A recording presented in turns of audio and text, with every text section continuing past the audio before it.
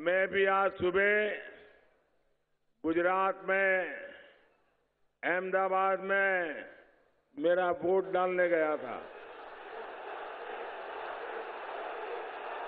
और अभी आपके पास वोट डाल करके पहुँचा हूँ।